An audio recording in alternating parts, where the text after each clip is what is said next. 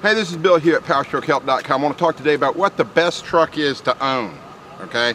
Now this last video I put out about what's the best truck to buy, man, people went crazy. I mean, they went crazy, sent all kind of ugly emails and all kind of ugly messages on there about, you know, my truck this and how could you say this about my truck?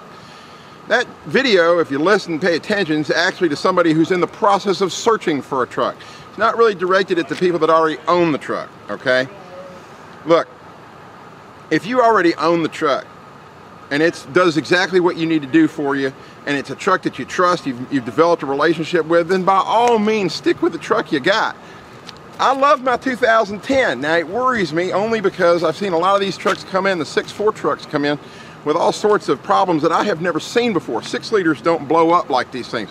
And part of the reason why is that the fuel injection system in this truck in a stock form is capable of delivering way more fuel than this engine needs. It's just that simple.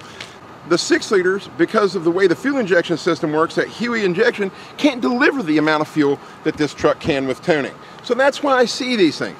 But at the same time, when you're out looking for one and you're buying one, one that's been abused, hey, they're going to unload it on somebody. The question becomes, what is the best truck to own? What's the best truck to have? Is it a dually?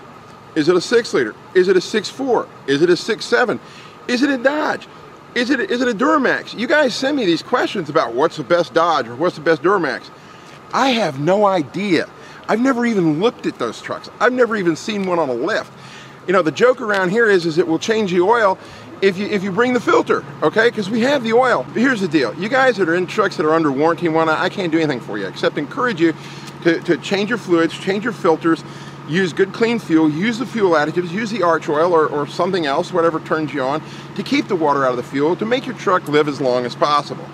You guys that are outside of warranty and you're having problems with it, I can help you. But only if you have a Ford, because I don't know anything about the rest of these other trucks. So what is the best truck to own?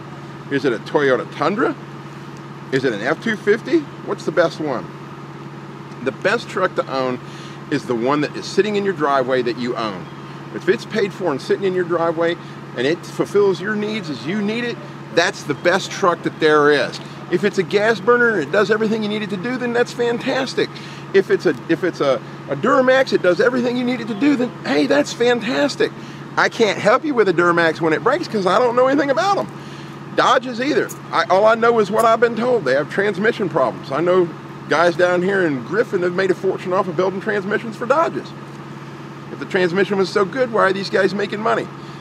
Is if you have a truck, it does what you need it to do, follow the instructions on the powerstrokehelp.com website and do everything necessary to take care of the truck. Change the fluids, keep up with it, keep an eye out for leaks, keep an eye out for any sort of potential problems that you're going to have with the truck that could be catastrophic.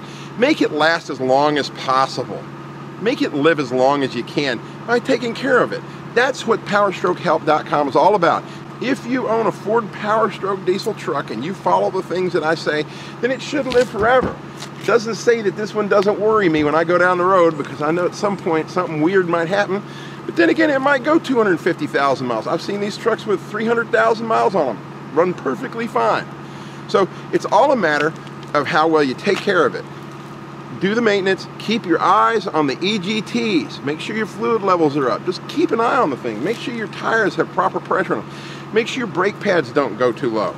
You know, it's just the little things that add up to a good experience with the vehicle. So at the end of the day, the best vehicle that there is is the one that's sitting in your driveway that's paid for that does everything you need. If it's a Ford and it breaks and it's outside of warranty, call me. I can help you. But if it's anything else, you're on your own. There's other people out there on the internet that can help you with that stuff because I just don't know anything about it. Thank you for all your continuing support on PowerstrokeHelp.com. Also, if you're watching my videos and you're not watching them on powerstrokehelp.com, you're really missing where the action is. You need to go to the website powerstrokehelp.com and check us out because there's a lot of information on there that could be very useful to you as a Powerstroke owner to keep your truck on the road as long as possible. remember, if you press the Archoil button, all the proceeds from Archoil uh, go to help Train a Vet, the nonprofit organization that I run, to help veterans ease their way back into civilian life. Thank you for all your support for making PowerstrokeHelp.com the number one stop for Powerstroke owners on the internet.